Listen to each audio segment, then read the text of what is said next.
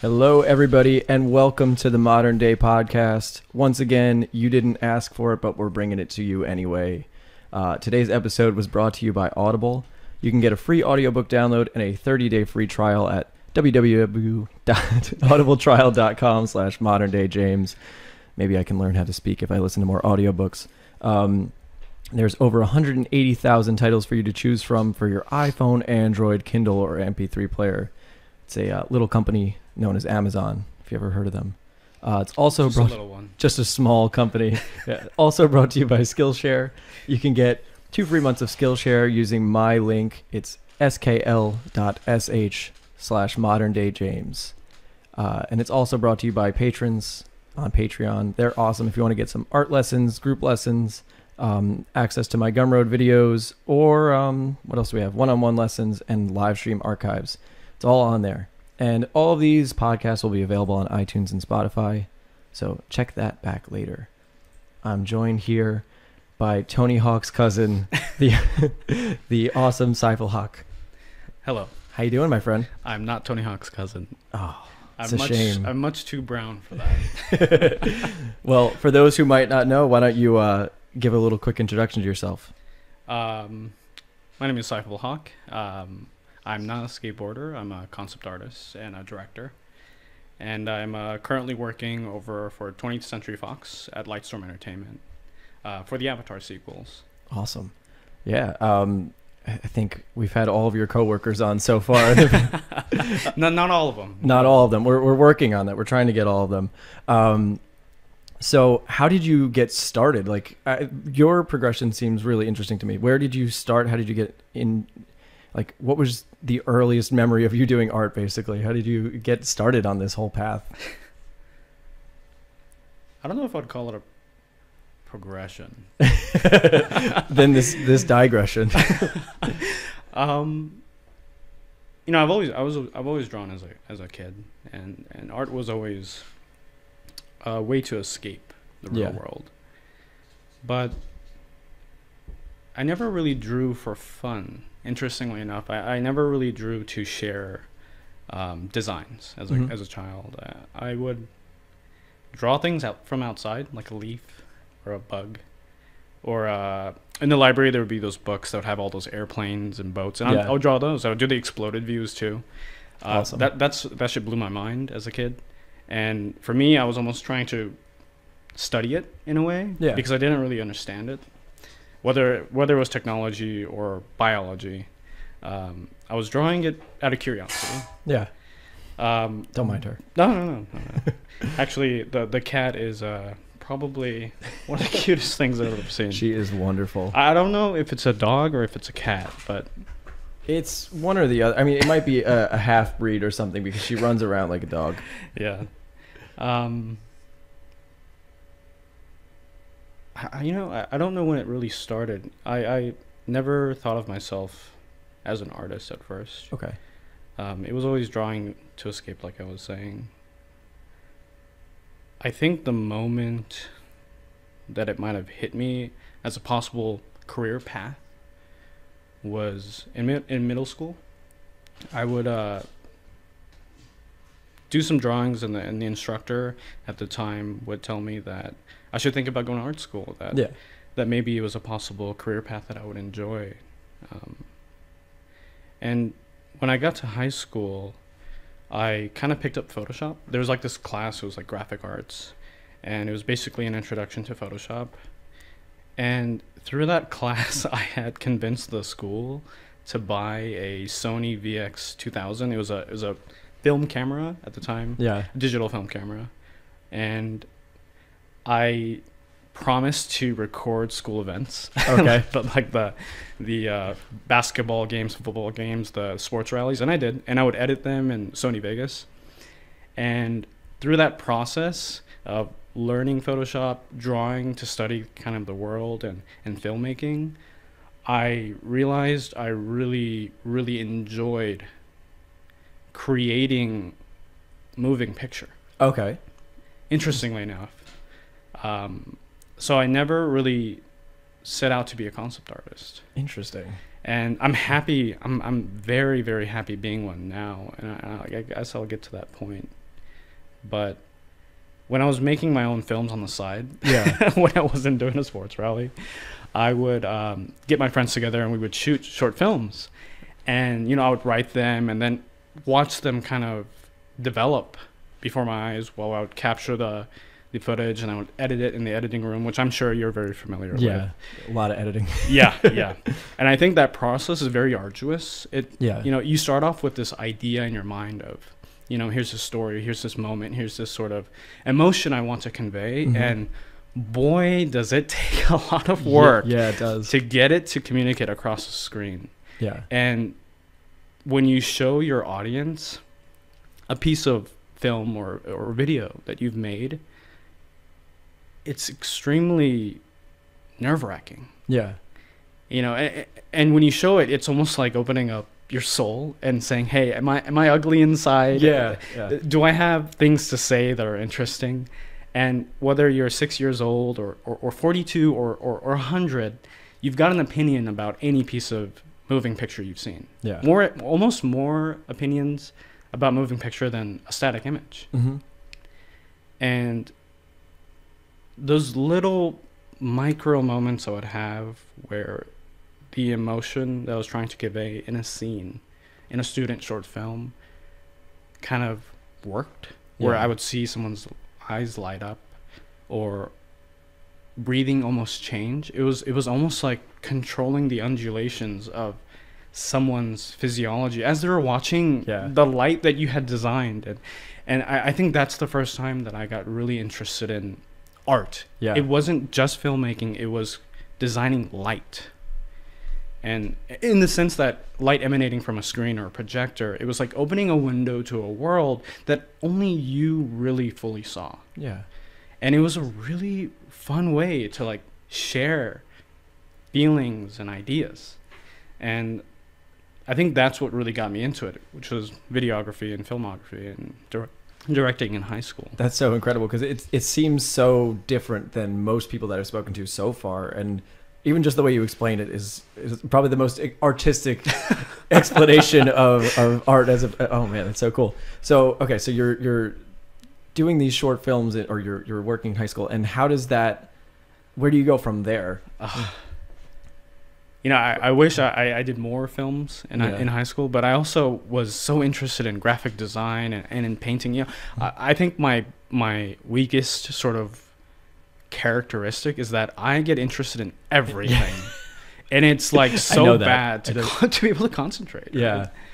Um, I think that's a symptom in general of a lot of creative people is that you want to do you want to dabble in so many different things. yeah, I mean, in my experience, I was in medical school in a metal band, wow. and it- now in art. It's just, but always, always bouncing back and forth between multiple ideas, and it's just can never really stay focused on one thing. Yeah. Did you did you find that when you were in medical school or when you were in a scenario that wasn't necessarily quote unquote artistic or or as creative that um, when you came back to the creative field you you almost remembered moments or or memories from those non-artistic times? Yeah, Did that influence anything in your own art? I'm trying to think if it influences. I know it influences my the way I approach it in terms of like. I, I come to it with a lot more appreciation than I used to because I know Yeah. what it's like when I wasn't doing anything creative, Yeah. and there was this constant longing to do to either do music or do art and kind of share that. Yeah. Uh, and for me in medical school, it really was devoid of a lot of creativity, obviously, because you're just it, ca- it can be if you're doing research or if you're doing uh, like pushing the field, yeah. but in my lowly medical school position, I wasn't doing that at all. Mhm. And uh, I ended up catching myself drawing all the anatomy, drawing in the anatomy labs, and I Wow, was- did you guys have those cadavers? yeah, we had uh, Man. yeah, In Art Center, we got the chance to go to USC and see Oh. those cadavers. I've got to say, the smell is rancid, yes, it is. but man, is the human body fucking wild. It, yeah, it's incredible. It's incredible. It's it's if you've ever seen a mech or if you've any seen any work of like uh like Vitelli and Mhm. like the suit from Ghost in the Shell, wait till you see a human cadaver. yeah, It is fucking insane. Yeah, that, uh, everybody listening, go and see. well, they have that they have that exhibit Body World. right? yeah, yeah. And th- th- there's a point where they had actually taken a human brain and they dissolved all the tissue except the veins. oh. Holy shit, dude. It was like looking at a nebula. It's so crazy. It's it's insane, and you know, like it, it gives you appreciation for your body and kind of your health. Yeah. And that's kind of what I got out of that. But as an artist, it, it, it kind of lets you see the underworkings of how this robotic structure works, right? Yeah, it's and so it's, a- it's a beautiful thing. Yeah. Uh, There's this um, it's a simpler structure than the the vasculature of the brain, but just looking at the forearms and the muscles and how those pull each bone in the hand. Oh my god. so incredible. It's it's it's like looking at a an instrument. yeah, Yeah. it's yeah. so incredible. Uh, now I don't remember where we were going with that. Well, to to reel it back, uh, so uh, yeah, I was I was in high school and I was doing uh, directing and filmmaking, and I signed up for this scholarship called Ryman Arts okay, uh, that was funded by uh, Herbert Ryman from Disney. okay, And it was an opportunity to get uh, kids from uh, certain areas that didn't necessarily have uh, a great art education and get them to USC's campus to take uh, free art lessons. And on top of that, they give you free materials. I mean, every possible acrylic, oil, paint, Oh, wow. every single brush, every single pastel, pencil. yeah, There's a thousand dollar kit that is handed to you. that's incredible. Yeah. And as a student, it's like being given a, a weapon. It's just like, holy Yeah. shit, what am I gonna blow up with this, right?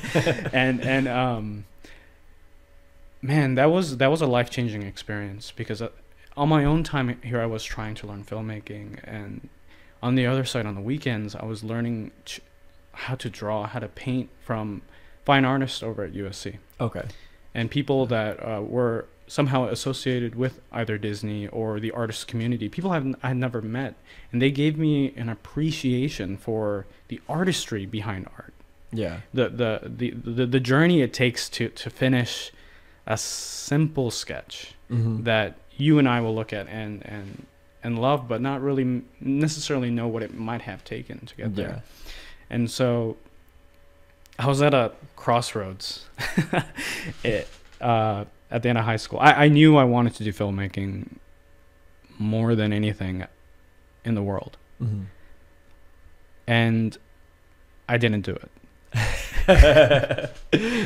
Go on. I told you this is not a linear path. No, it's great. I love it. I'm like a I'm like an atom. I'm bouncing around. Yeah. Um, I didn't do it.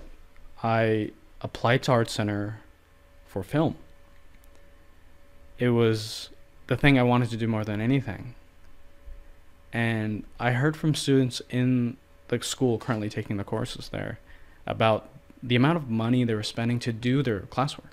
You know, you had to, some of these students own their own cameras, and Yeah. some of these students were spending thousands of dollars to to do their assignments. You know, it wasn't writing a paper, it wasn't buying a two dollar piece of illustration board and just doing a painting Yeah. with free acrylics that got handed to you at, a, at, a, at a scholarship program. It was thousands of dollars just to do your homework. Oh my god. Yeah. Talk about student debt. Yeah. I that's that was a really heartbreaking moment for me because I came to this realization that filmmaking in many ways was was a rich man's dream. Okay. And I was poor, and my family was poor because we had moved here from Bangladesh. Um, and I felt that I couldn't take on that responsibility of debt Yeah. and I didn't do it. and I ended up going to uh, Glendale Community College, Okay. and I took courses there that I found interesting while I was thinking about what to do. So I was working at a shoe store to make money, and uh, I was taking classes in psychology, physiology, uh, math, science, um, physics. Things that I had questions about as a kid while I was Yeah. looking at the world. I mean, here was an opportunity to learn about it because in high school, uh, I didn't really have these courses. Okay. Yeah. And so, so long as I was stimulating my mind, I figured I wasn't lost, or at least that's what I was trying to tell myself. Yeah. Um, but in that process, I learned about Art Center's entertainment design program. Um, I had gone to Art Center's campus and I talked to Thomas Bertling, who was a faculty member there. And I learned about this whole program that designed films. I had never in my life ever connected the, t- the two filmmaking and art. right? Yeah. I was like, I always saw them as two completely Yeah. separate things, and boy, was I fucking wrong. Yeah, yeah, And I was absolutely inspired by the teams of creative people that it took to bring a script or a game idea to fruition.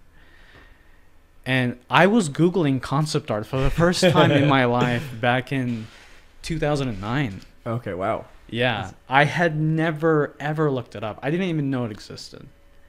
I had seen some game art, but I always figured that was just an artist that was inspired by the game, but I never knew that that's what it took to actually make it.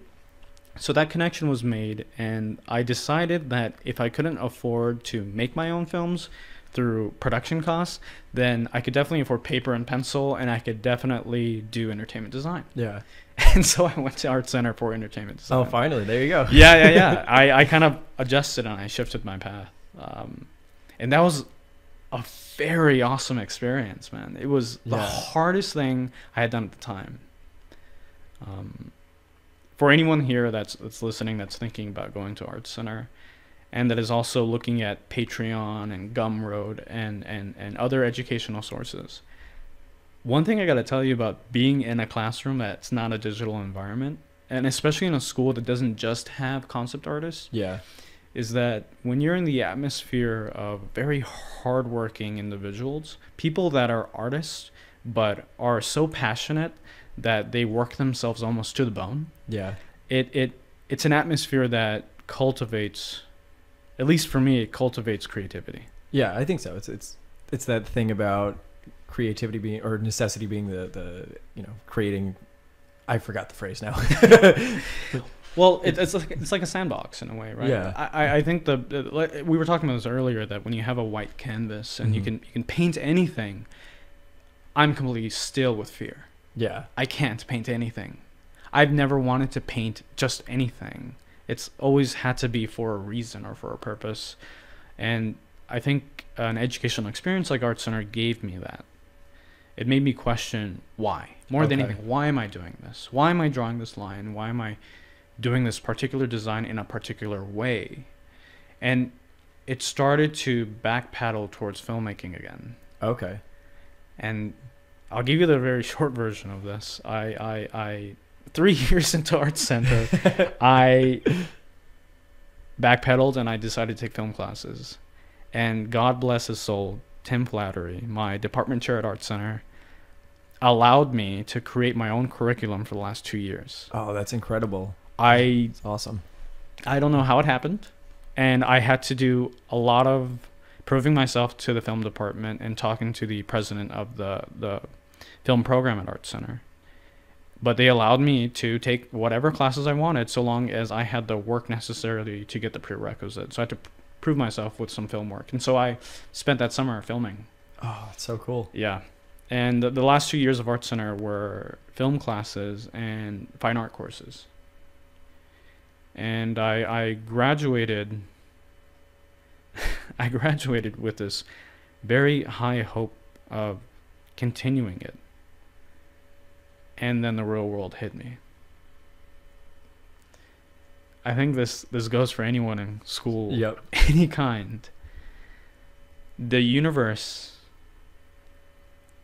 acts with the same indifference as rain. you are not special. You are talented. But you do not, in any way or shape or form, deserve a handout. Yeah. You really have to work hard. E- even with your podcast, this is a this is a full time job. You have to maintain it. Yeah. It's challenging for sure. Yeah. And you know what? I didn't get a job, a job in directing. I was fortunate enough to direct a few things, like Yeah. a commercial and a music video, and those were absolutely amazing experiences that I was able to learn. But I needed to prove not only myself to myself that I could do it. I needed to also prove it to the world, or to prove it to an industry, right? And after I graduated Art Center, and for the first year, I did a commercial and a music video, but things got kind of dry. I didn't get as many requests to do uh, directing jobs, or I didn't win as many pitches. Okay. Um, so the, a process of getting a directing gig is that you have to pitch a direction, you know. And because I was a concept artist, I could draw um, the ideas that I had in my mind. Yeah. Uh, but a lot of those ideas are very high budget. Oh, okay. Yeah. Yeah. And that, you know, that seems like something a concept artist would do, where they have this crazy CGI requirement. Yeah. yeah, yeah. It's uh, actually surprisingly enough now, all of my ideas are not high budget anymore, Oh, okay. and So- they've changed because I've taken an appreciation for for directors that are able to not use visual effects sometimes. Okay. Um, like uh, Christopher Nolan as an example. Um, but I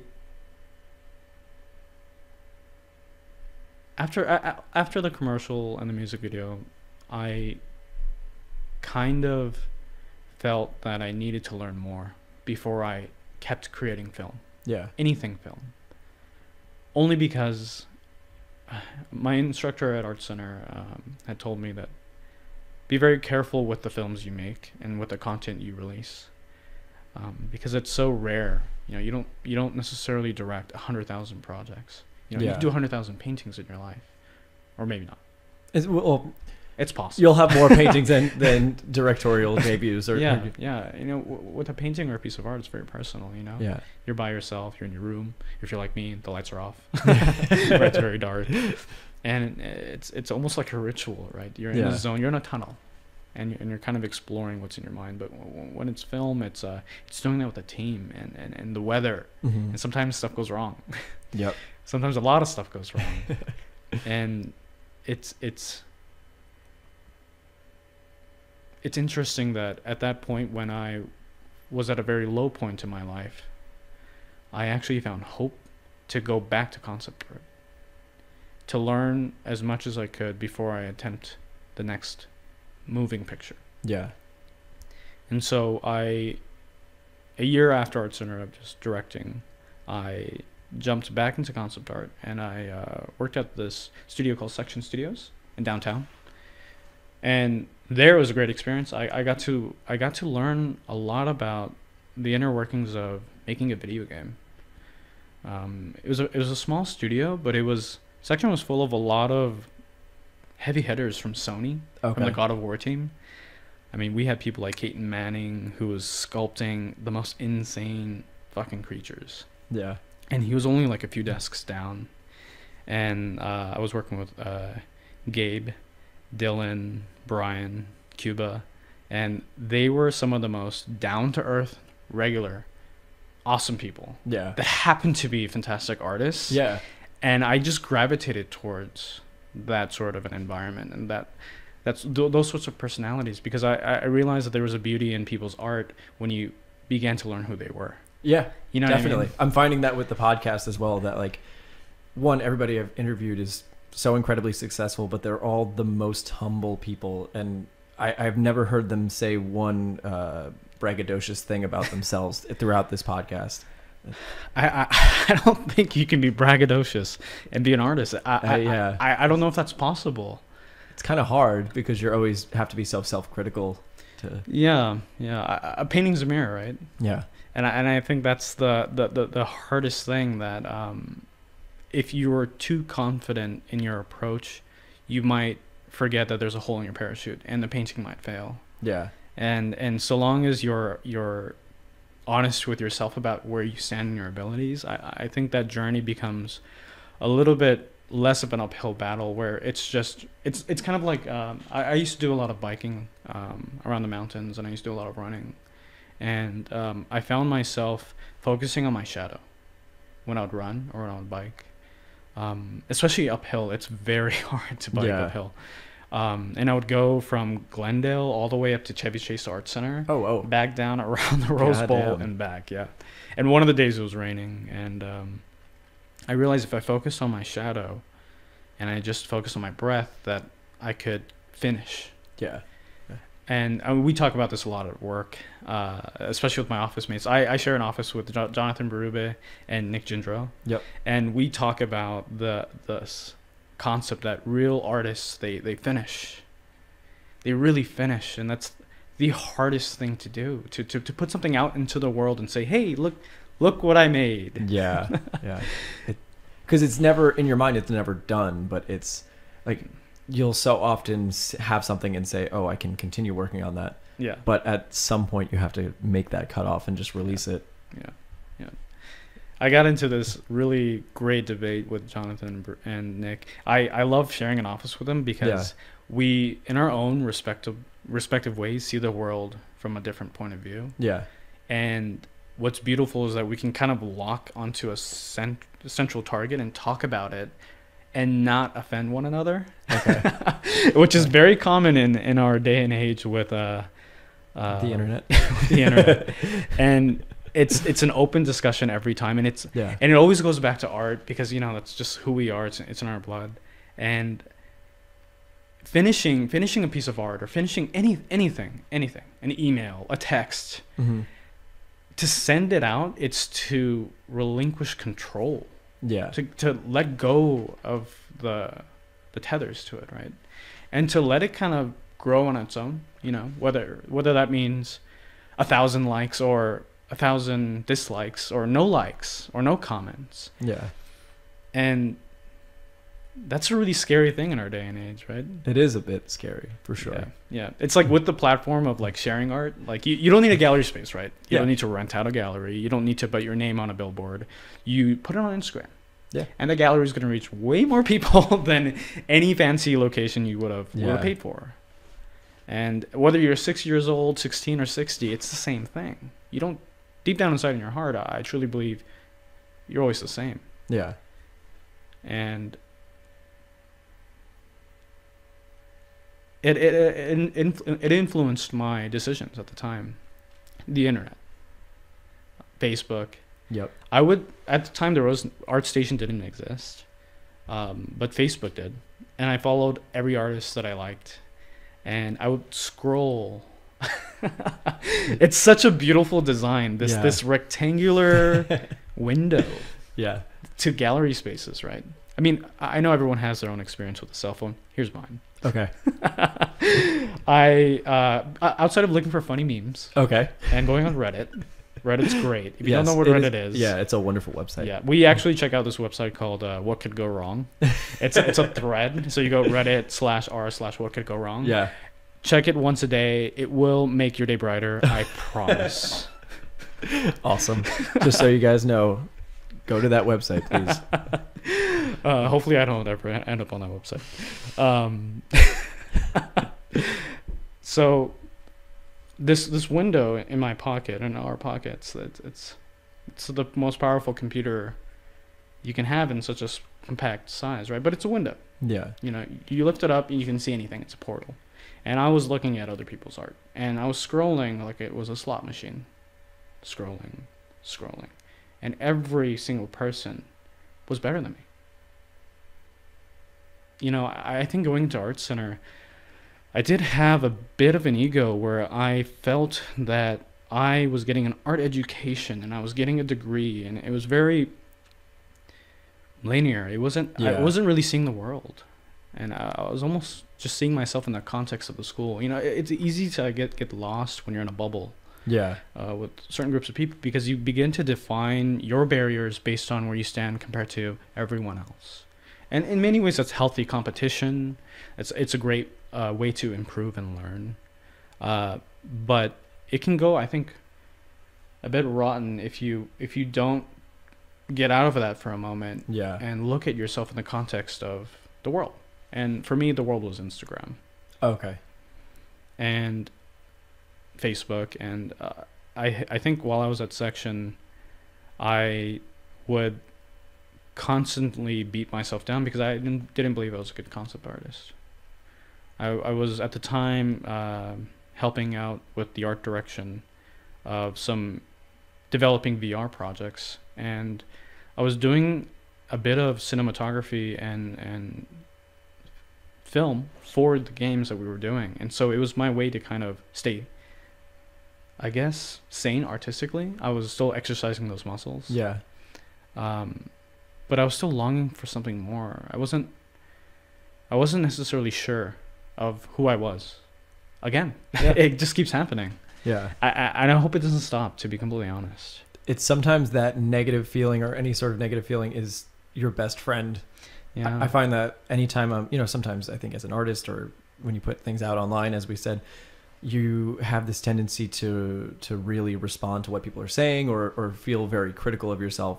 Yeah. And while that can be hard to deal with, yeah. I think sometimes it's the best thing because it pushes you forward.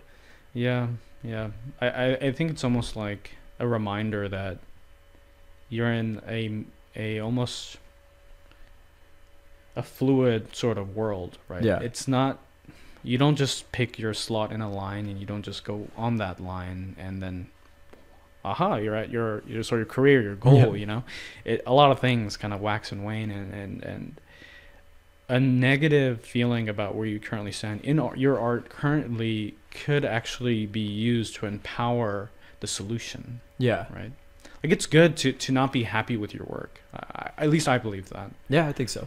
Uh, I think it's like looking at your hairstyle back in high school in your yearbook and thinking, "What the fuck was I thinking?" Yeah. Well, there you go. right? Like if you if you're gonna continue that hairstyle for the rest of your life, man, go for it. Maybe Yeah. it's great. Mine wasn't. I'll No, tell you no, about no, that. No, my hair was down to my shoulders. oh my lord! I had the same thing. My hair was down to my shoulders, and as you can tell, I have really thick curly hair. Yeah. and it was not pretty. It, Yeah. it looked like a hornet's nest or a raccoon or something.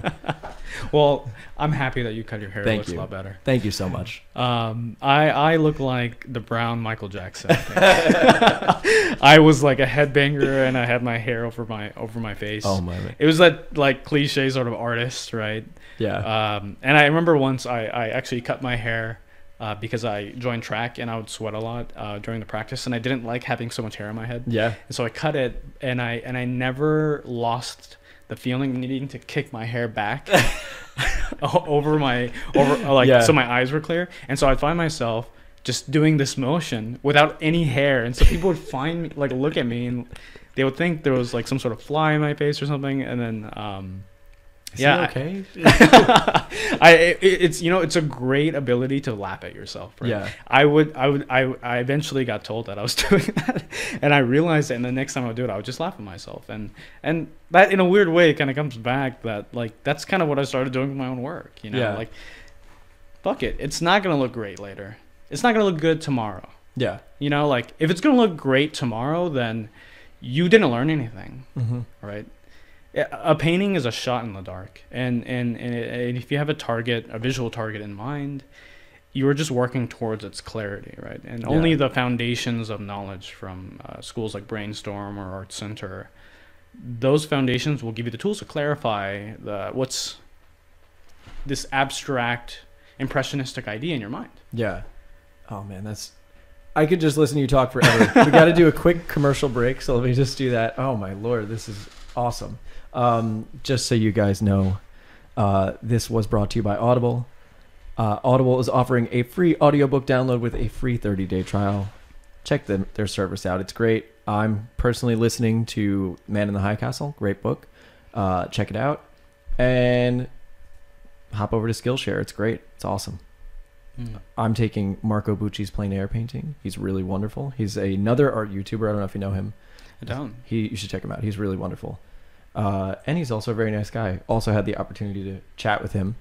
Um, but I have a question about your approach because I think one of the things that makes you so interesting to me is, is how you combine cinematography. So how does that like what is your workflow like these days? How is how does that balance between doing paintings or doing uh, any sort of cinematography work?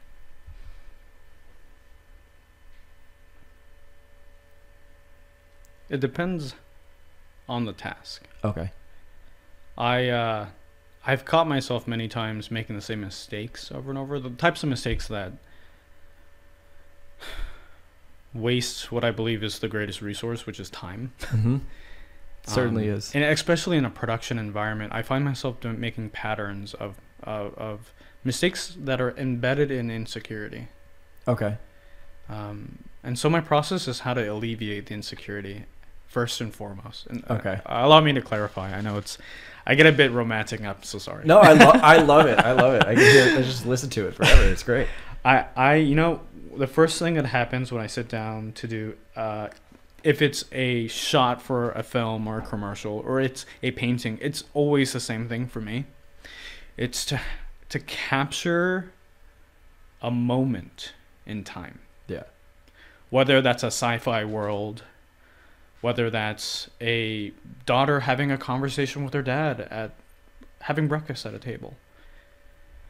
What direction is the light coming from? What where am I sitting? What is my relationship to the subject matter? What is happening in this scene? Yeah. How should I feel in relation to the main character or event or subject matter? And so I I always start off with the keywords that describe the emotions I feel. First and foremost. So if it's a script or if it's a personal painting that I'm doing, I write out a small paragraph or I take the small paragraph from the script. Or if it's a game, I take the game designer's intentions behind either what what's happening in the story or what's required for gameplay and i try to think of the experience. Am i supposed to have a lot of fun while i jump from this wall to this wall to get to the end goal? Am i supposed to understand that at this moment the character has a realization that she has been making the same mistake over and over and over again? Yeah. or am I supposed to have a sense of peace as I look out into this vast landscape? And I write down the emotions I feel. The main reason is I believe there's something lacking currently in our technology. Yeah. Um, there's no way for me to connect my heart and my mind to yours. Hence, why we have mediums of communication. We have speech, we have literature, we have music, we have art. And I, I really do believe that all of these are just a few form of communication because there Yeah. is no way to plug a USB cord into me and plug it into you, Yeah. and next thing you know, we both know kung fu. You Yeah. know, like it's it's not.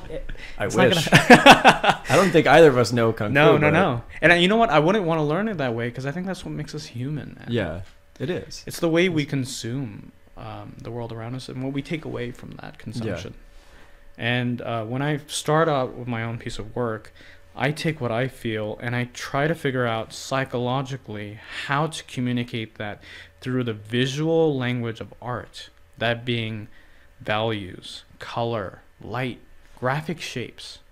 How can I do this? How can I take the feelings I'm feeling and associate shapes that tap into the subconscious of the audience Yeah. that when they see it, they don't even think it, they just kind of feel it. Yeah. And if you're very successful, they really feel it. And it's even more powerful in film because film is a moving picture. Yeah. You understand it more spatially. And there's sound, right? There's there's more There's everything. yeah, there, there, there's more threads being connected to your to your mind or to your heart. Um, and for me, starting out with those keywords, I then go to research on Google. You know, and, and the one thing I, I love and hate about Google is that the first hundred images we probably also see the same one. yeah. And so if we look up something scary or, or dementing or, or surprising or, or beautiful, we see similar colors and, and shapes. And uh, I look at that to know what not to do. Okay. That's interesting. Yeah, That's it was it was a strategy I had Yeah. done, um, because I believe that it's a beautiful thing when, when you can add to add to a, a creative endeavor, um, and, and not fall into the noise. I, I believe websites that have a lot of art, uh, like ArtStation, they they bring, especially me, they bring up the anxiety of how much I suck Yeah. right? Like, man, I can't model like this guy. I can't paint like this girl. What am I doing? Why do I suck so much? Yeah. And you know what? I'm right. They are better at those things than me. And that's okay. I've got time.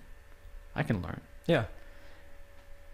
But for me, instead of going back to that small window of my pocket and scrolling and reminding myself how much I suck, I tell myself, okay, you suck. So sit down and get somebody to feel something when they look at your design.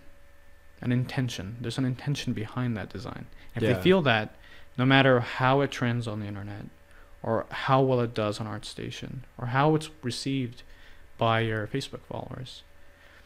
If my little sister or my wife or my mom feels something, Yeah. I consider a, a success for for at least for the time being. Yeah. Oh, I mean that's true. You can have any level of technical skill, and I, I know this mostly through music because I I'm relatively unexperienced in art. But with music, you can be the most technical guitarist, pianist, whatever. But you could play a few simple chords and make the most beautiful pieces. And Yeah.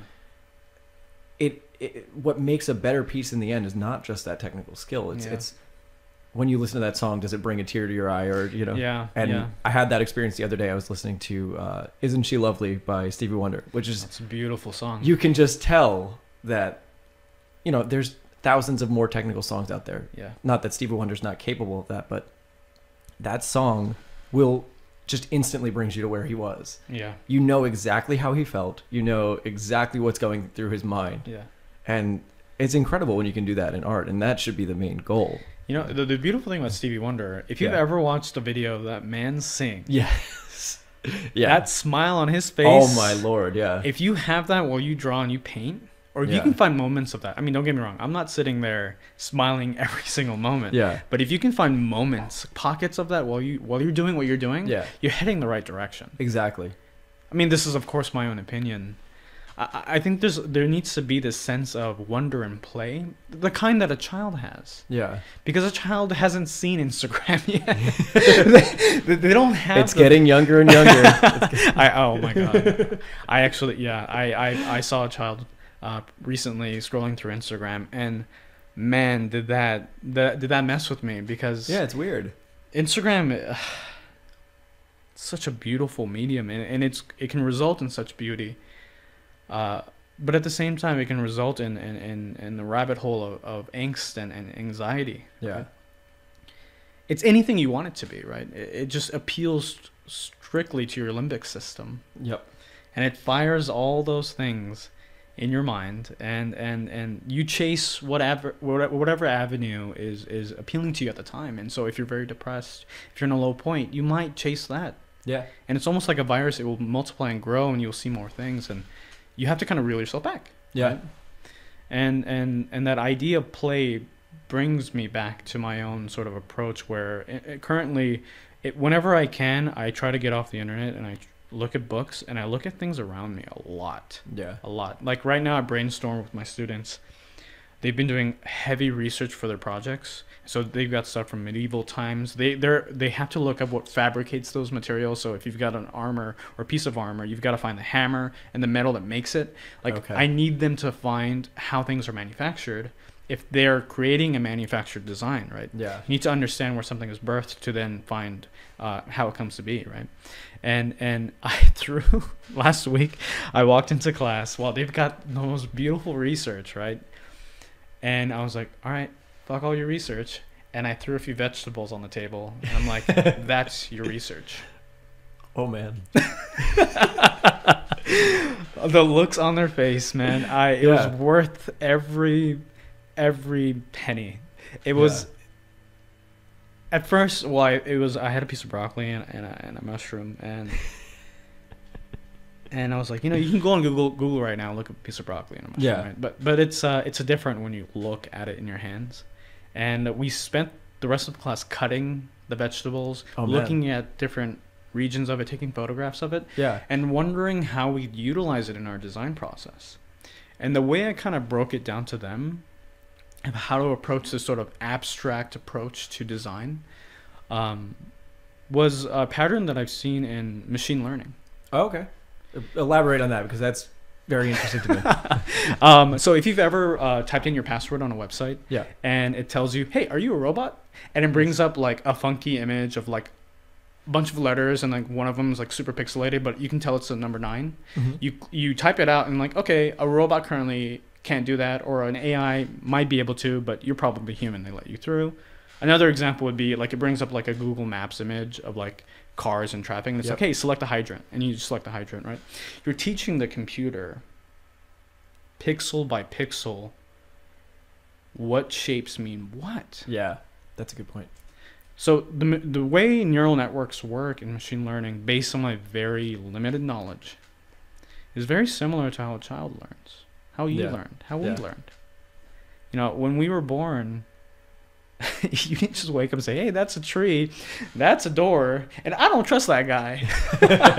those, those- those things only come about, right? Yeah. And how did they come about? You know, somebody had to tell you this is a square and this is a triangle. And you had to memorize those shapes. And it gets much more complicated when you have to learn a language, right? Here's A, B, C, one, two, three. And you're learning the shapes, no matter what typeface it is. Now you can tell what it is. I mean, hopefully Most of us. which is probably why the highways are Helvetica, right? Yeah. It's, it's the most legible font Yeah.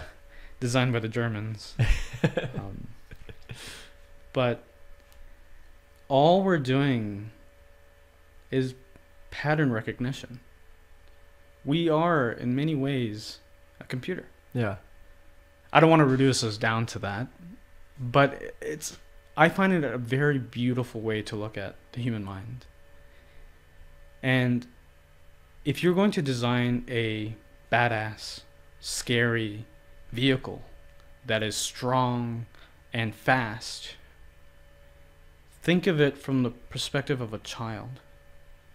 What have they seen in their world that makes them feel those words? So if you say Yeah. fast, maybe they've seen a bird and the way it dives when it's you know eating the flies above the grass, right? Or if it's scary, maybe they've seen a face with an underlight that was an unrecognizable pattern of shapes Yeah. right? Like think of a simple image. I give an example in class, the the first class, uh, of a face that was smiling, right? And so you have a top light, three quarter, whatever. Yeah. It's from above, from above you, and you can see someone's teeth, and they're smiling. And so you're like, okay, I trust this person, right? And now rotate that light to the exact opposite direction from underneath, and it's unnerving. It's it's Yeah. it's. If anything, you don't trust it. It's the same exact geometry. It's the same Yeah. exact shape. That's so cool. And Yeah. so in in the class I teach at, at Brainstorm Advanced Form Language, it's not about the 3D shapes when I'm thinking about design. It's about the two-dimensional shapes they create Yeah. in two ways. Actually, three. So if it's a matte surface, you have the actual curvature of of, of, of a of a surface. So if it's curved, uh, or if it's uh, rough, right? So you have a textural quality to it. Um, and then there's the shadows they those surfaces cast. And then there's the shapes within the shape. So if it's a reflective surface, you know, what are these beautiful sort of reflecting lines? You know, so if you look at like car design or transportation design, they're analyzing the the shapes of the of the reflections, the speed of them. Yeah. You know, almost like calligraphy, right? And so what 3D shape creates those shapes Okay. is what they're thinking, you know. Yeah. And so you get these automotive designers creating these really beautiful forms that are inspired by um, these like curvatures and these uh, contrasts between tight turns and really sharp turns and really wide ones, right? And if you begin to see the world that way, you begin to kind of question and wonder psychologically what has my machine learning algorithm stored in my mind Yeah. that makes me feel the keywords I'm trying to design. And that's less intimidating to me Yeah. than I need to design the next Iron Man suit. okay. Yeah. Holy it's shit. it's too much pressure. It's too much. it's Way too much. Yeah. Imagine a musician being told, you have to do something that sounds like Daft Punk. Yeah. You, you can't do it. It's it's it's you have to I can't do it at least. well, yeah. I mean they're they're pretty talented people. And actually, you know, actually talking about Daft Punk, I remember seeing an interview with them where um, they talked about their own inspiration. yeah. like like uh, the interviewer was asking them like how do you feel about sampling music and stealing and i talked about my students about stealing uh, shapes Mhm. and, and in the case of daft punk they're stealing bits of sound right yeah. and they're remixing it and we're doing the same thing i'm stealing shapes from animals other pieces of sculpture or art that i've seen anything i've experienced in my life or anything that i've seen on the internet Yeah. through the small window of my pocket what have i seen that's made me feel, feel a certain way and how can i remix those things in an interesting way that someone calls a new right so you can take an old song today and match it with a with a digital beat and it sounds new Yeah. but is it or is that what new is I think that, in my opinion, I think that is what new is. It's Yeah. always going to be some sort of remixing of what has previously existed because yeah, I think human beings in general are just imitative creatures, yeah, and everything that we create is just a process of imitation. And in my experience, it's only when you imitate enough sources yeah, that you can create something that ever appears or or sounds new. yeah, I think in general, like if you take any, and, and again, I always go back to music because I'm a little bit more qualified in that regard. But if you take any little bit or any small frame of the song, you can always, or you can identify sources saying, oh, it sounds like this person, it sounds like Yeah. that person. But it's only when you take the whole picture and you blend those those inspirations or those uh, sources together is when you get something that sounds different or something that sounds new. yeah. You know, there's a stigma about imitation too, right? Yeah. Like mimicry or, or copying or, or master study or or inspired by this concept artist, so I did this piece of work. Yeah, And there's this stigma that um that it's not it's not dope. It's not cool. Why'd you do that? yeah, You know, I, I gotta say, and everything I say will always be my own opinion. This is what I truly believe, and I don't think it's the right thing. It's just what I felt with my heart was right, yeah, or at least at this time. But imitation is a way to learn. yeah. You know, if you see. Kobe Bryant shooting a three pointer with such utter skill that you watch it frame by frame, you're studying how he moves his physiology, right? yeah, And I'm not saying you're gonna watch that video and walk out of there and you're Kobe Bryant, right? no, no. but it will make you perceive the undulations in your muscles and your and your in your limbs much differently. Yeah, You'll see it from almost like you're studying yourself from the outside. And I think imitation allows you to s- study your decisions compared to an individual that has already made these decisions and per- and mastered them to some extent. And I think that gives you a bit of a a spectrum. You know, it's a way you kind of find yourself at first, right? Like, who am I? Am I an artist? Do I suck? Right? Yeah. Like that's how I started out. Yeah. Right? And and when you start imitating, you kind of start finding these beacons that let out these like sort of radio waves of like, okay, maybe I'm interested in drawing mechs, or maybe I'm interested in cinematography, and you kind of let that feeling go through your body. And you're like, this feels like the right direction. And it's a way to ground yourself on a journey, right? yeah, It's like when you're on a hike and you see uh, a, a sign or, or a, a landmark, right? It's just to remind you that you're still continuing a journey. yeah, It's not the end goal. I mean, I hope it's not. yeah, You're you can do much more than just imitate, but there's nothing wrong with it. It's it's the way we learn. yeah. And I don't think you can ever get to a point where you can do anything original without imitating. You can't. I I- don't think so either. Yeah, I used to. Um, I would even just take drawings and I would draw the same drawing line by line. Yeah. And I did this relatively recently too, within the last year or two. Yeah. And I really wanted to study why are they making these decisions? Why are you know you look at the like the best line artists. That we were just talking about Kim Jung Gi. I'm a little too obsessed, but the way the decision making process, or uh, somebody like Evan Munson. I'm not sure if you're familiar Yeah, with him, but I love love that work. and I, I would try to retroactively see why he was making certain decisions or you know and maybe to him they're subconscious Yeah. but if you spend enough time to think about it then you can start to ingrain that into your sub Yeah. your subconscious You know, you know what I love uh, when I do a study. I love,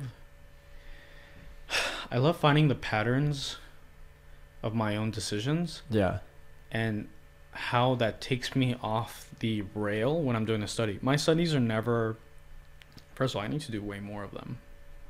I'm I'm not gonna say I do enough. I mean, I used to share an office with John Park, and so I can tell you I definitely do not do enough of them, and he has inspired me to do more. yeah Um, but what I've realized is when you go off the rails in your study, it kind of becomes your own version of a Sargent painting. yeah You learn about yourself as to what you like or dislike about your own decisions. You're not necessarily saying, "Hey, I'm not Sargent," or "Hey, I wish I painted more like Sargent." You, you you may find that there was a little bit more eloquence in the decisions made in the master master's Yes. piece of art. You Yeah. know? almost like a more eloquent or more simple decisions being made. Whereas when I would do a study, I would begin I would begin to be hectic and get Mhm. lost, and and it's a reminder again it's like that journey that you are just get back onto the rails right get onto the path and just finish it Yeah. look at it take a few notes move on and i mean most of my studies i will, I will never share they're terrible they're horrible I'm sure they're fine. they're terrible uh, a lot of them are film studies of, of, Okay. of frames because i absolutely love looking at cinematography yeah. uh, like the work from like Roger Deakins is one of my favorite cinematographers, and uh, finding the way that they control light, I think, is my obsession. Yeah. I can tell. I can tell based on the way you've talked about it that that's what you're so inspired by, and it's amazing to to because like for me, I have so many completely different directions that I'd want to go in art, but it, Yeah. it's so I can just feel your passion about it, just, the way you talk about light and how it creates such interesting shapes and how it affects your psychology. Yeah, it's interesting. Right? At the end of the day, it's just wavelengths. Yeah, You know, whether it's a painting or a projector, uh, or or a TV or your phone. Uh, if you can design that and make someone think something, Yeah. feel something, it's no different than music. It's no different than um, a Broadway live play. It's no different than anything that you felt emotional about. And it's Yeah. crazy because it goes beyond time. You, when you're dead, it's still around. And it's not to leave a, a sort of like legacy or anything like that. I, I, I, I don't have those sorts of thoughts. It's, it's never about me. It's always about a frustration of trying to get something out that Yeah. I'm thinking or feeling. And when it's out, it's out and it's done. Right. And, and that's what kind of inspired a lot of the stuff that I did in my personal work at Overt Art Center that has that story about a guy that's in outer space and on this Yeah. alien planet.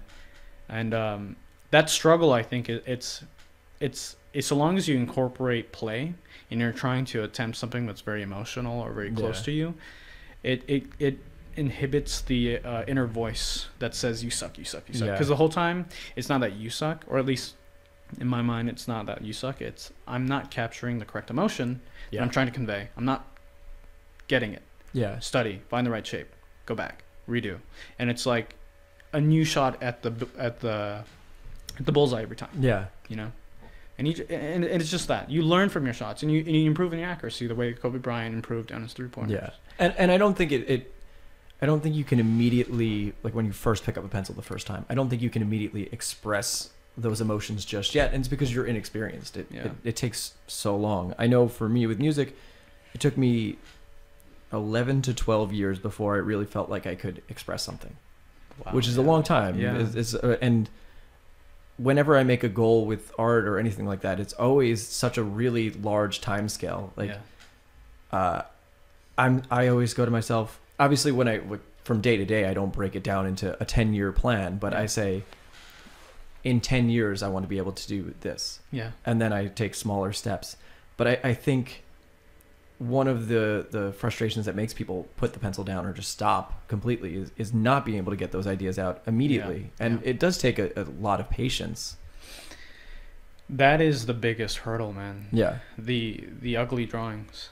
yes. Yeah, the ones Yeah. Mm-hmm. that people never show, and I actually wish and I would advocate that professionals show them. Yeah. including myself. I I uh, I talk to my students actually every single homework assignment. I call it ugly sketching. And I say I'm not. I don't care about your rendering style. I don't care about your brush set. I don't care if you do it digitally or by hand. If it's coming out of you, draw it however you wish, and it can be ugly. No one else is gonna see it outside of this room. Yeah. I want to have a conversation about your intention behind that line, that shape. You know, like it's kind of like organizing your thoughts, right? You- Yeah. if you organize your thoughts, it's like organizing a bookshelf. If Yeah. you're automatically putting all of these books in alphabetical order by just picking up piles of them and just putting them in, I don't know what sort of superpowers you have, but for me, I need to organize the books first yeah. and then put them up in their you know in their bricks right and so when you're when i'm designing or when i'm ideating and if, if these are abstract ideas of what conveys emotion uh, or what conveys um, uh, a disposition of a character in a shot what angle should i be in? I have to organize them and man does that organize organization look like shit. Yeah. it's really shitty sketches. But there's something about that that i don't want to ever lose. And what really inspired me to continue that direction to to solidify that you know what i believe in this direction was when i saw the sketches of Syd Mead. Yeah.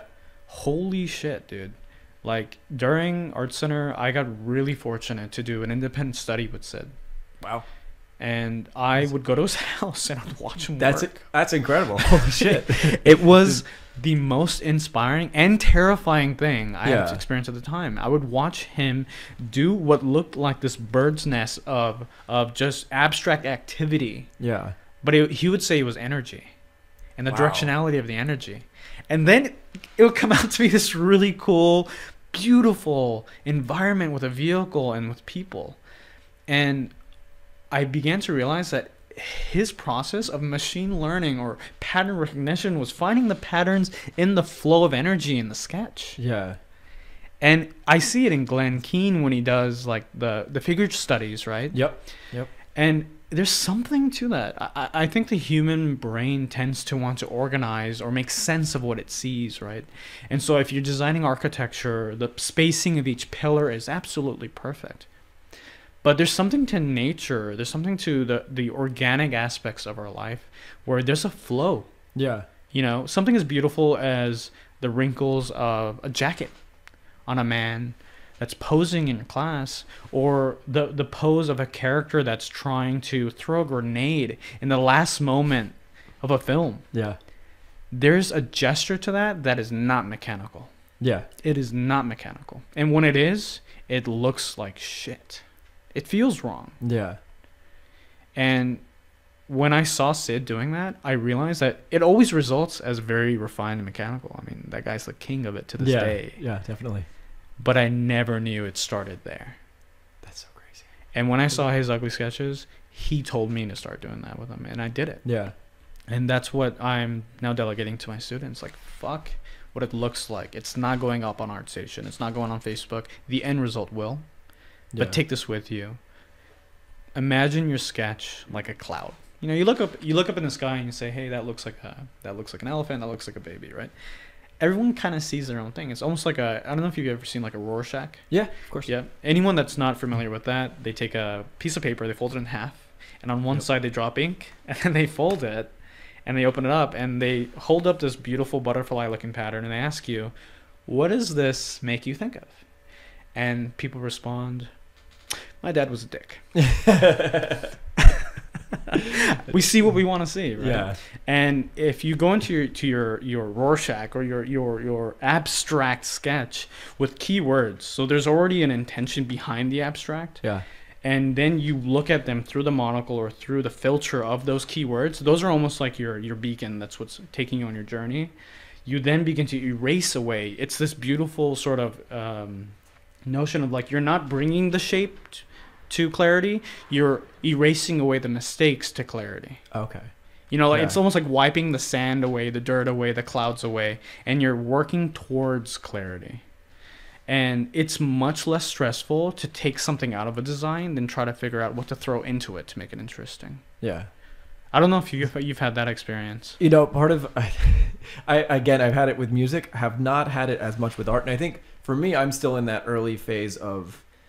I, I'm in a phase where I'm just trying to get control of of how I can draw, how I can paint, how I can do that. Yeah. And for me, it's the same. It was with music. It was learning scales. It was imitating, yeah. and I feel like I'm so early on. I just started uh, really delving into art three years ago at this point now, and no way. yeah, I left school three years ago. So it's this is Holy all. shit. This is You're fucking driven. thank you. I have Thank you. watched your videos, and, and I was telling you this earlier. I, it's, I think clarity in education, especially art education, is it's such a rare thing.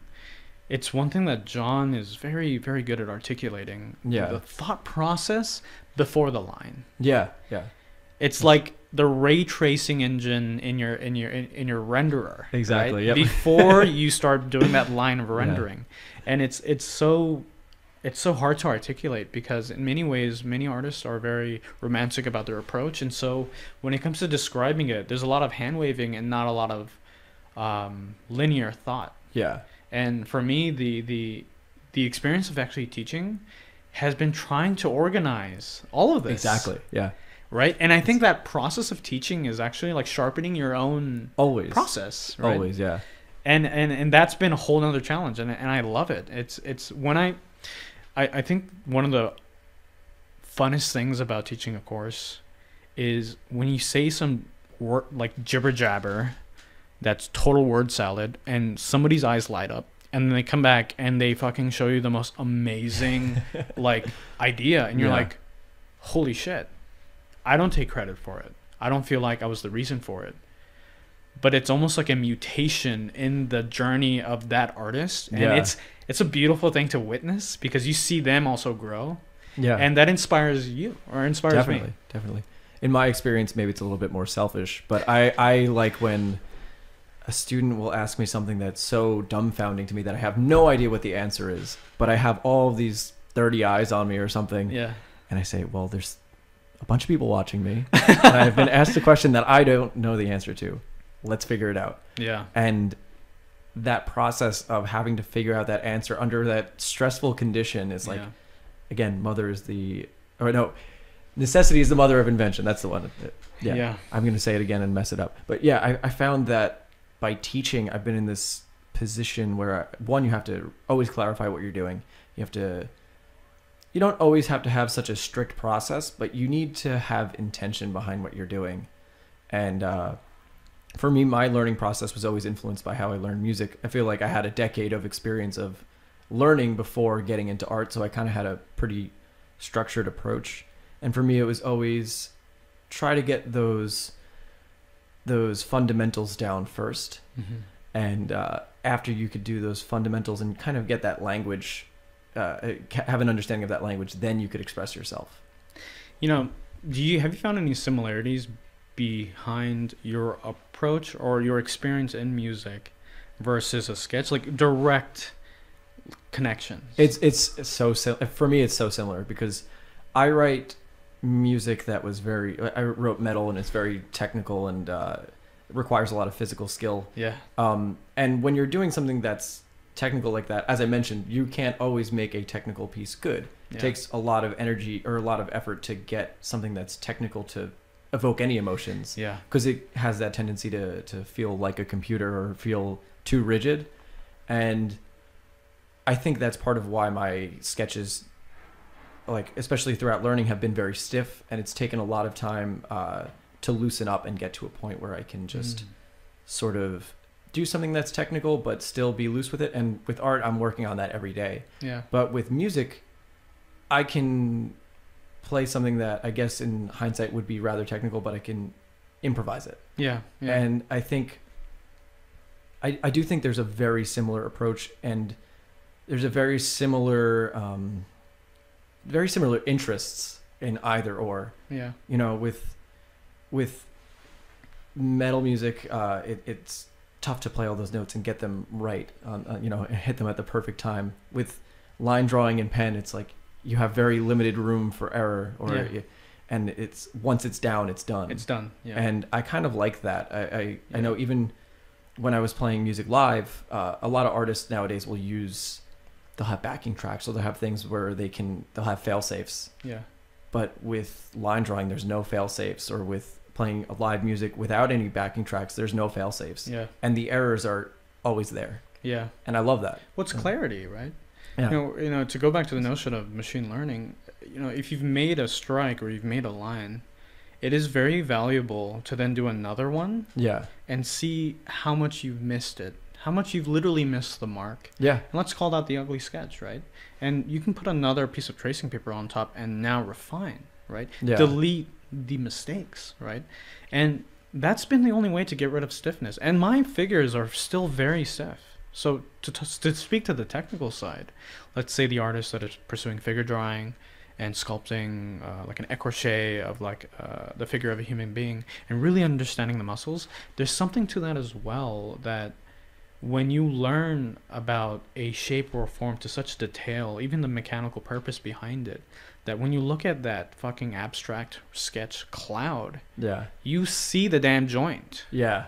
Yeah. If anything, you were thinking about it. So when John or any amazing artist does this pen sketch where it's just shadow and line, I'm telling you, they see the final thing. Yeah.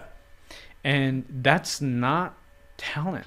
At least I don't believe that's talent. Not. I wasn't. No, I don't think it's talent. I think it's something. I actually don't believe in talent Yeah. A- unless it's physiological like singing or being able to jump really high and Yeah. make a dunk. you know, I can't do that. No. But it's just hard work. Yeah.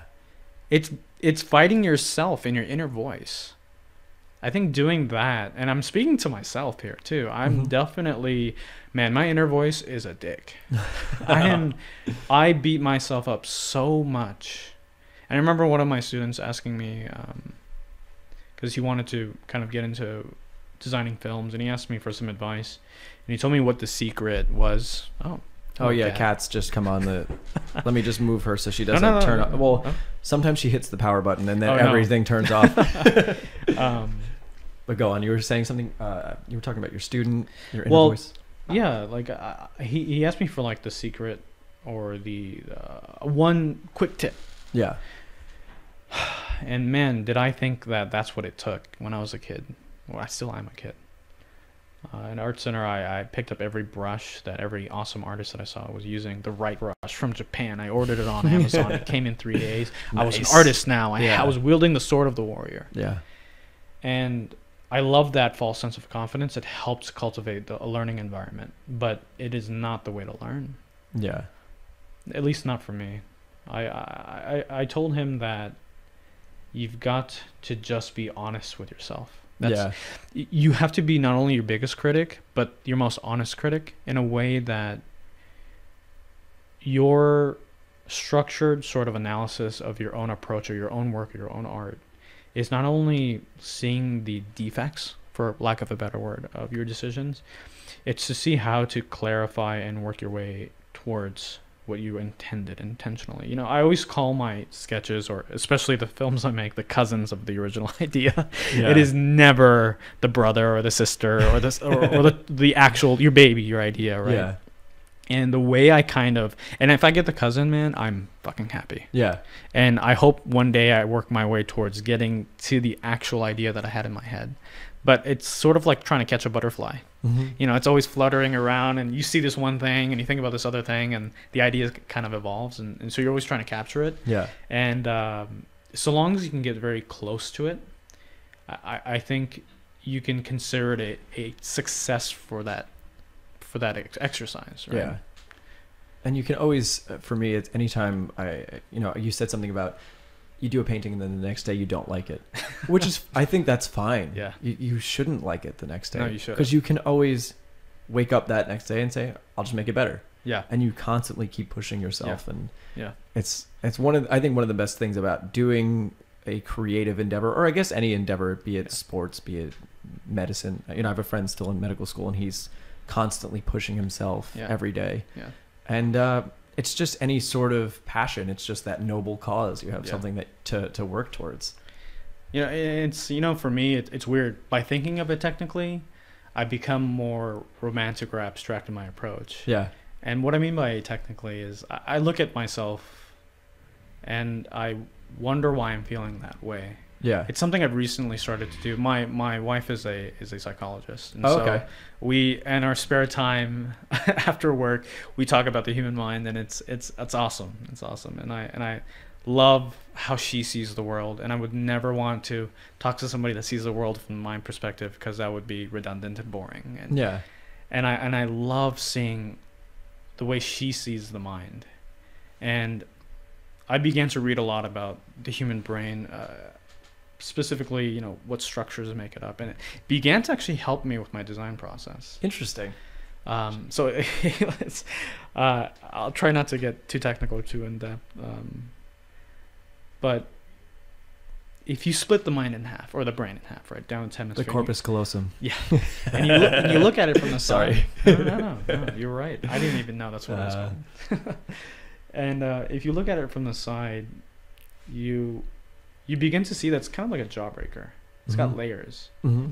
I don't think a lot of people know this, but the your your cortex, the uh, some people are used to hearing cortex because they hear uh, cerebral cortex, but you have an occipital cortex. You have the outer bark. Cortex means bark.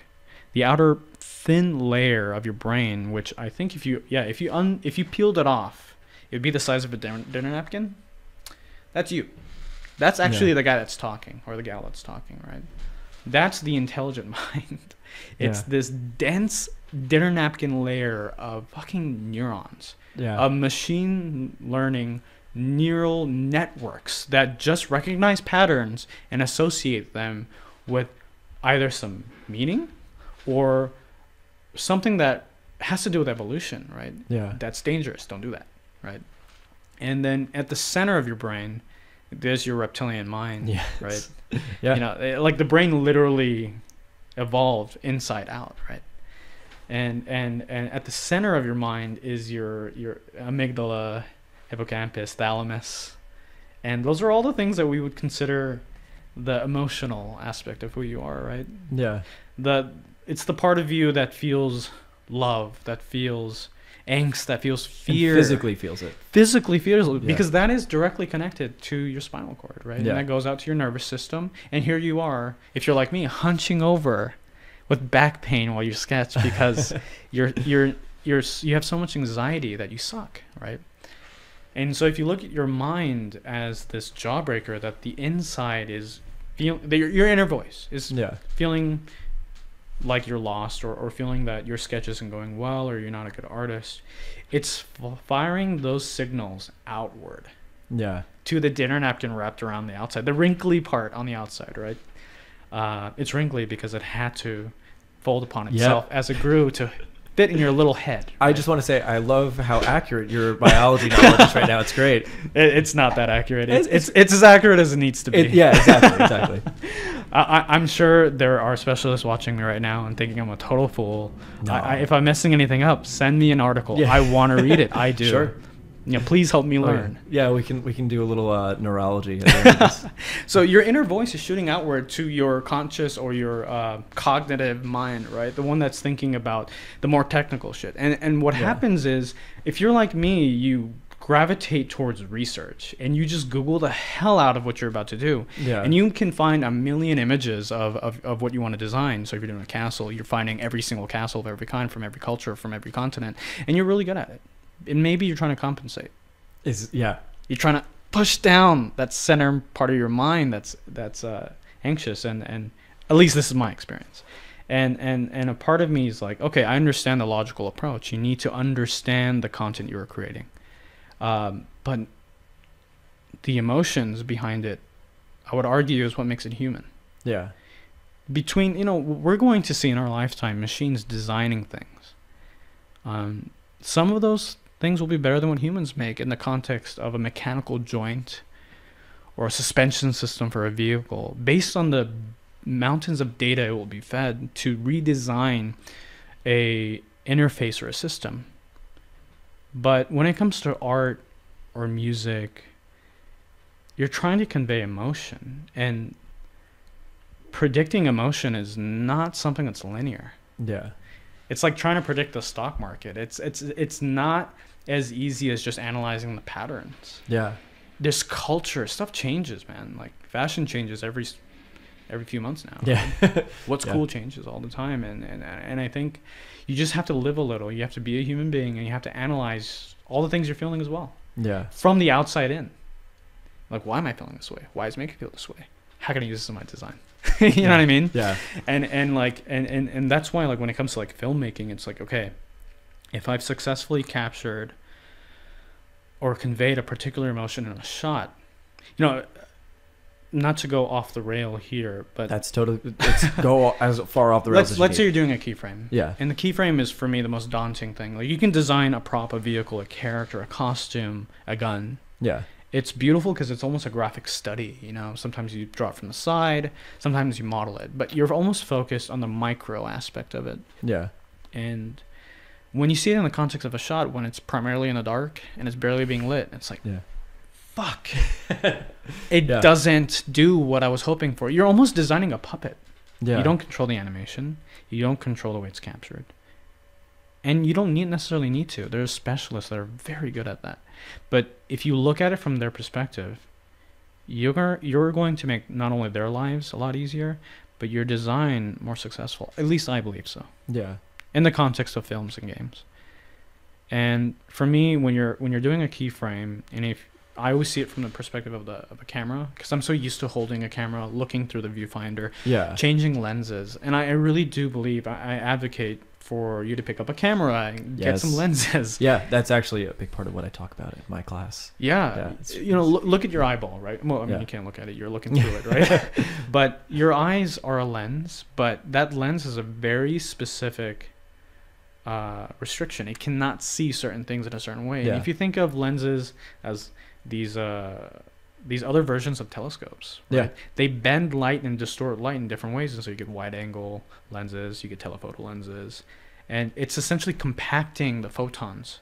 Yeah. And if you learn the way that a lens can distort light, the difference between a GoPro shot and a and a telescope shot of a snowboarder jumping from like a ramp, the emotion behind it is vastly varied. Yeah. One is exhilarating because you're there, Yeah. and the other one is epic because it's like, whoa, that was like 300 feet in the air. Yeah. But the content's the same, but the perspective is different. Exactly. And I think to design a keyframe, if you if you mess around with cameras, just play with them. I I think you begin to learn what distortions of light make you feel what in a particular scenario. And so when I'm doing a keyframe, I put myself in in the position of the camera as if the audience's head. it's gonna sound really weird, No. but fuck it. This is the way I think Yeah. about it. If you're watching a movie and there's a particular scene, I always imagine that you're holding the audience's head from the back, like you're almost like cradling Yeah. their head where their ears are in your mm-hmm. hands, and you're looking. They're looking forward, and you're slowly moving their head left or right, up and down. And sometimes, if you take a particular scenario, like let's say of a mother and father having a argument, one interesting way to see it is where the camera's all shaky and it's following them, right? And you can do any cool sort of lighting. But the second you take that audience's head and put it from the perspective of a toddler from a crib Yeah. or from underneath the dining table, that same exact motion of the geometry, of the light being captured, once you change the angle and the distortion of it, you've altered almost the impact or the or the or how much it resonates. Yeah. You can you can influence a person's perspective literally by where you place the camera. And so when you're doing a keyframe, it really helps to to study cameras, to, to play with them. You don't need to become a specialist, but to play with them. You can rent lenses. If you have CG, d- look at your primitive cube with a 100 milli- millimeter lens and an 18 millimeter lens and look at the difference that it distorts it with Yeah. and that changes everything and for me when i when i do my own work it's where am i in, in the shot who am i Yeah. and most of the time you're not a character so i always imagine myself as an apparition in a way like like a almost like a floating ghost if i was you know telling the story of christmas past you know Yeah. like where is it, where is this uh where's Scrooge standing, you know, looking Yeah. at this moment, and uh, and and that allows you to create a narrative, a perspective of a story, and and and when you bring that into concept art, it can make something as as technical as a vehicle design feel like home. Interesting. You know what I mean? It, Yeah. It's and you know what like like the the psychological aspect behind design and and what emotions it ignites. I think that's the magic of what we do as Yeah. concept artists because it takes a lot of money. It takes a lot of people to make the final picture. Yeah. But if you can prove with just painting light on a Photoshop document that it could possibly work if it had these shapes, these materials, this possible angle, you're not dictating the cinematography in, in any way. But if you can influence the decisions, you're adding to the clarity to the final laser beam that's being shot out of the projector and being shown to Americans all over the US. Yeah. And the more I can sharpen that tool, the happier I am. Yeah. And so like uh, right now like on Avatar, I I I'm working with the best people that do that. Yeah. That are so fucking good at that. And I just study them. I study what they do and I try to mimic it. I'm a, I'm completely a student in the studio. And I'm I think I'm happiest when I'm a student. That's awesome. I, I mean, Yeah. do you feel the same way? I do feel the same way, and I just want to say I'm I'm. I think we're gonna have everybody that's working on the Avatar sequels here on the podcast, That's awesome. and um, every one of you have said that you all have felt like a student in comparison to the other, which Yeah. I think is I think it's great. Is is you guys keep learning from each other. You keep pushing each other. I'm the smallest student of all, for sure. you wouldn't be I the first to I say have, that. I have the least amount of experience out of anyone I work with, and man, is that the best scenario I could ever have- have ever asked Yeah. for, because it's the best feeling in the world is being the dumbest person in the room for me, because if I'm saying things and I'm contributing things that could be improved on, there are other people in the room who will suggest those improvements yeah. and it's almost like uh, an adjustment of your course and there's the whole other aspect that the work is absolutely inspiring Yeah. the the you know one thing that i've gotten out of working with these giants is this idea of, of clarity in design it's it's fundamentally a design house. Yeah. we, we are we are not having conversations about trendy things about trendy approaches or or, or shortcuts. It's always about like this game of fruit slice. Like how do you slice the fruit at the right angle at the right time to get to the end goal to get the audience at a subconscious level to understand to feel what you're trying to convey Yeah. and whether that's hard surface design or organic design or, or, or like the, the world we do in avatar it's it's incredibly hard Yeah.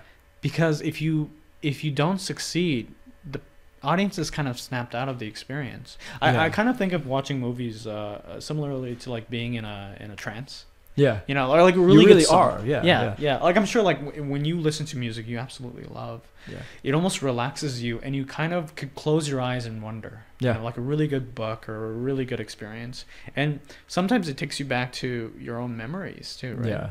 And I think films on a subconscious level are scrolling through your memories. You know, Yeah. and when you see yourself in a in a film, even if it's on an alien planet with alien characters, if the shape design, the form language, and the psychology behind the decisions fundamentally appeal to the subconscious mind, you're slowly tugging at strings, helping people along understand the story you're trying to convey. Yeah. And to study that is is exhilarating. It's fun, and and whether you're painting, whether you're making music, or or you're shooting a film, Yeah. it's all the same rules. It's how not to fuck it up. yeah. right? Yeah. It's how to work yourself towards clarity.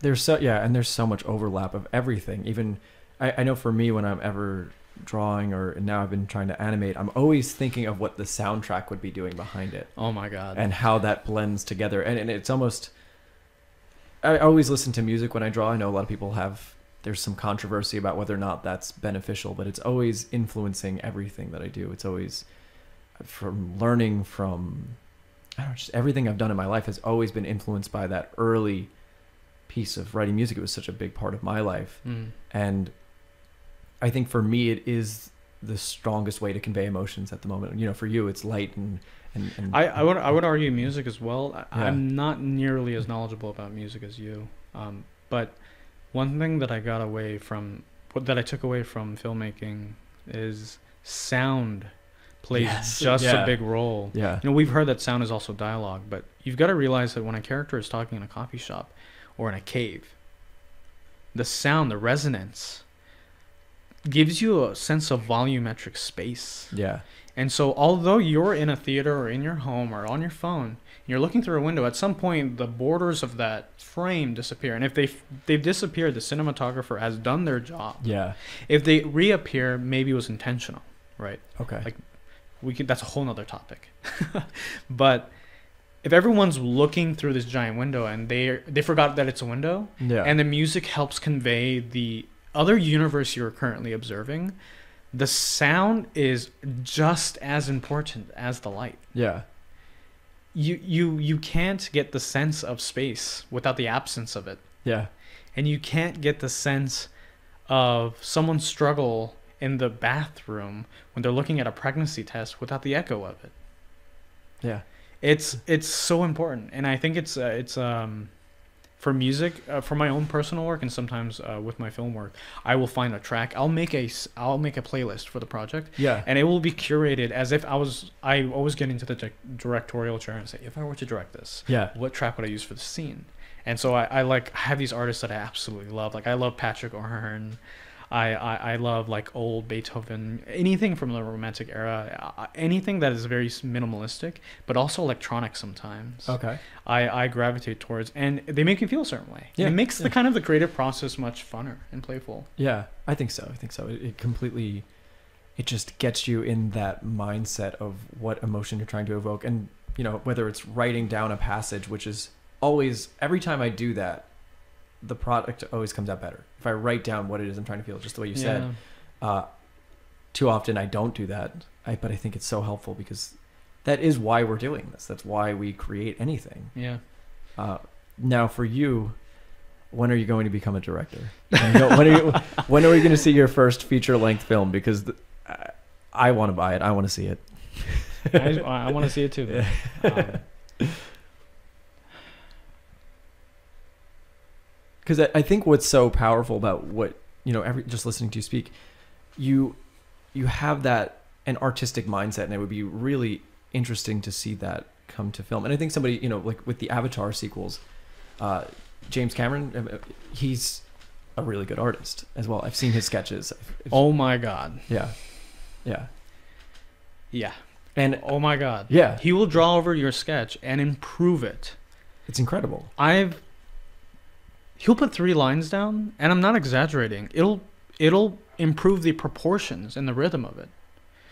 And from a director, Yeah, holy fuck, yeah, that has been one of the most ex- like that has been probably one of the most inspirational things I've seen is the the clarity in the communication. You know, to have a conversation like if we were talking about something highly technical, we could say a lot of words and Yeah. each word could try to clarify the statement, but to think it through before you open your mouth and to only say a few words would be to try to say the most simplistic, clear statement possible. And in that at that point we're exchanging ideas, right? yeah, And Jim, when he puts a line down, it's almost natural because I think his mind is almost in tune to always working that way. And I'm and I'm not gonna lie, I'm trying to get myself there because yeah, here you have a human being that can paint and draw anything, and they can tell the most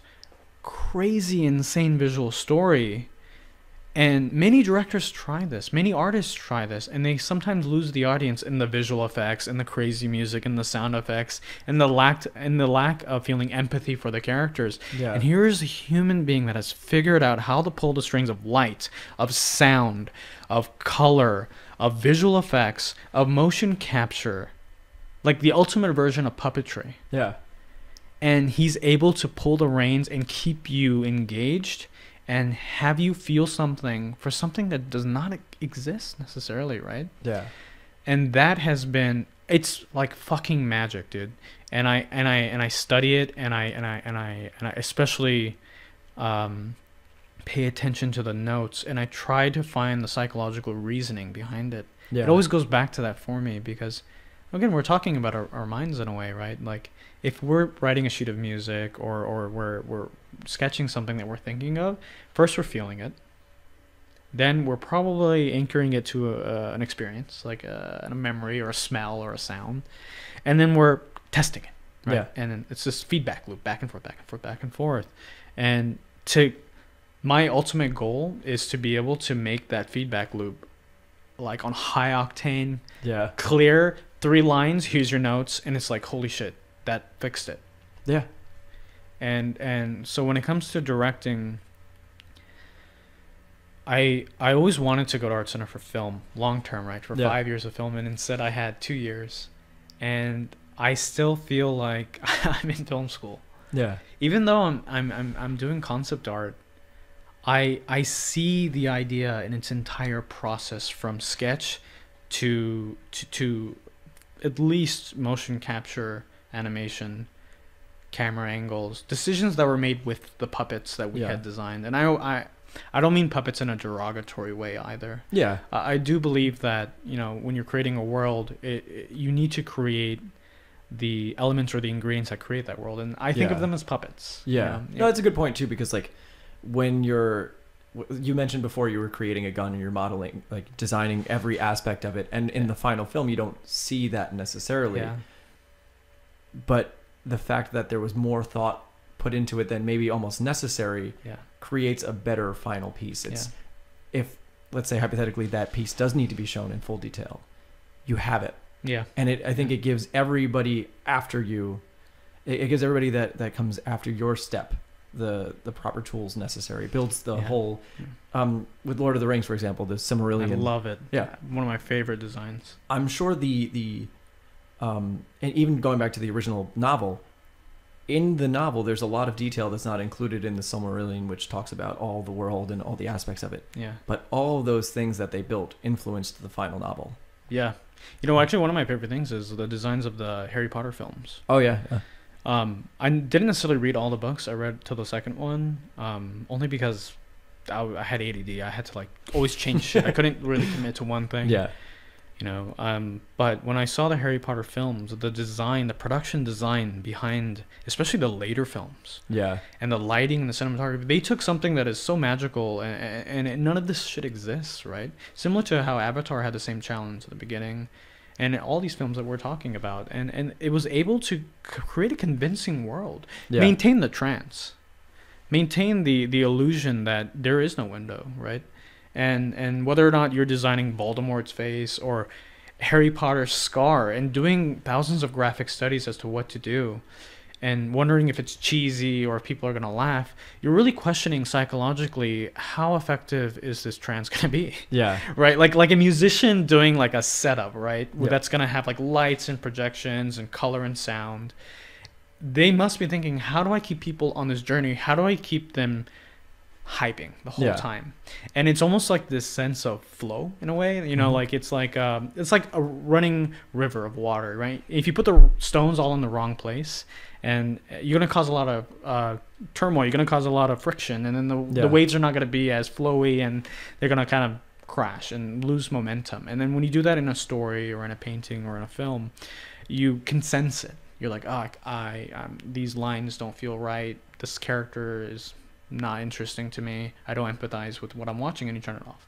It Doesn't matter how beautiful it is. It does not. Yeah. You can have a very successful design using the approaches, the abstract approach I'm talking about, of, of trying to design emotion in a way, and it could fail on screen, eh, and then learn from it. I mean, I love watching films that aren't rated well. Okay. Yeah. Uh, one of my favorite things to do is watch them in black and white. Oh, interesting. Like I've watched Batman, the first Batman by Nolan, in black and white so many times, and I realized that when I remove one of the ingredients, I notice the other ones. Okay. You know what I mean? It's like it's like seeing the underpainting. Exactly. Uh, I'm not saying I fully understand it, but Yeah. it's like seeing the the way that they might have, or like removing sound or rewatching the scene. Like, uh, I don't do this to my wife, but sometimes I do. But when we're watching a film, I'll press pause and be like, okay, I, I gotta see that one more time, and we'll do it. And I'm like, okay, I gotta see it one more time, and we'll do it again. And I'll rewatch it, and I'll save that that pattern I just analyzed yeah. in my folder right of reference in my head and and and so when it comes to directing I- i definitely one day would love the opportunity to test out my theories it's not necessarily about like it's not about being a director or or, or even filmmaking it's it's not about what comes with that. It, it, it's the same itch I get when I do a personal painting, and I show it to somebody somebody that I really care about their opinion, and I and I ask them if they feel anything. And and and I found in my work that any time that I can not, not lose the butterfly in the ideation process, that fun feeling of like trying to go from abstract to clarity Yeah. from this shitty sketch to the final thing that is supposed to evoke a certain emotion, the more I can stick to that path, the more it is conveyed. yeah. And sometimes I'm not, I'm, I'm, I'm, I'm actually most of the time, and sometimes I'm not. And when it comes to moving picture, I feel like it's tenfold with Yeah. music, with acting Yeah. and it's almost the greatest it's the greatest challenge and for me it, it i guess that's the sort of for for lack of a better word a, the mountain peak or the top Yeah. you know once you get to there there's the fog clears and there's another mountain peak right Yeah. so it's not, it's never Yeah. really even about Yeah. that but that is that challenge is fucking hard and i would love to actually try it out of all places on instagram Okay. because it's a short window of time to keep someone's interest and to Yeah. get their attention and to convey something psychologically. And that's a great test because that's a Yeah. new test that Yeah. hasn't existed before.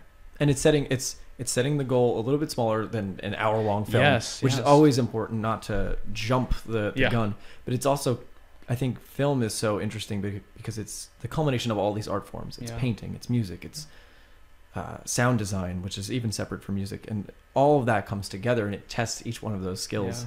And uh, I, I would be really interesting to see an Instagram movie first of all. I, now that IGTV, I guess, is something that's a little bit more uh, coming to fruition. I think maybe that would be a platform you could use for that.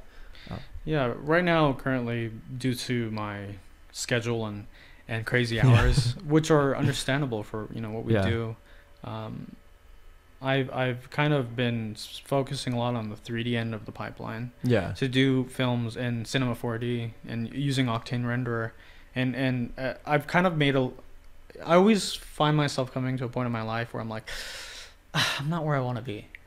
I want to be there, or I want to be left or right. Right. It, I'm, I'm never where I want to be. yeah, But in in the good way, in the good sense that I'm like, okay, okay, I got to continue on this hike. I got to pick up my Yeah. bag. I had a nice break. Got to continue on this hike, and and so for me, Instagram and the computer system I own and and the software I have, these are like ingredients to create something. yeah, One's a platform to release it, and the other one, it allows me to direct for free. F- Making a commercial or making a music video is an insanely expensive process. Finding the actors, finding the locations, finding the weather, the location, the the, the angle of the sun at that time, yeah, planning each shot, doing a shot list. I've done art. Uh, I've done assistant directing, directing, producing, um, production design. And it's like I've, I'm trying all of them because I each one is a learning experience. Because at the end, if the goal is to create a moving picture, it's nice to be able to understand from every angle because Yeah. it's almost adding to the to the accuracy of uh, of that shot with the sniper. Right, you Yep. got to get the crosshairs just lined and get your breath just focused enough to be able to take it. Man, that is a morbid way to look at it. But, but um, I, I think to be able to learn, to go back to this process of learning, you have to constantly make mistakes, do master Yeah. copies, and all this stuff. And I think Instagram, because it's so such a small platform and such small videos or any sort of online content, and plus that shit reaches more people than TV Yeah. today. yeah. It does. It definitely does. And and for me, it's like any opportunity to make a mistake, to learn, to learn, to learn. It's easier to do, and it's more feasible to to do right now on a platform like that with the tools I have. I have a computer. I have these pieces of software. What can I make? Yeah, It's like a new challenge, and it and it, and at the same time you're directing it because Yeah. I'm making the storyboard, I'm animating it, and so currently right now I'm working on a on a short film oh, okay, wonderful. uh, that uh, that I work on on my free time that I'm I'm I'm hoping to release on Instagram. Awesome. I can't wait to see that. Oh my lord. Me either, man. yeah, It's uh, it, to go back to the to the the message of of uh, my office mates, uh, real artists finish, and yes. I'm going to finish this. I have to finish this because it's the newest challenge for me to finish it because it's not easy. Wow. Well, it, we've been going for almost two hours. I Oh don't want to. I don't want to cut No, you no, no, off because this is an amazing. is amazing to listen to. But I think that note that you left off on was a wonderful place to leave it. That real artists finish just like real podcasts finish. It's a beautiful thing. Yeah. I do not want to hear my voice for more than that. no, this has been wonderful, Saiful. Thank you so much. Is, Thank you for having me. no, thank you so much. It's been an honor. everybody. Thanks for tuning in. We will talk to you all soon. Take care. Peace out, everybody. Bye. Oh man.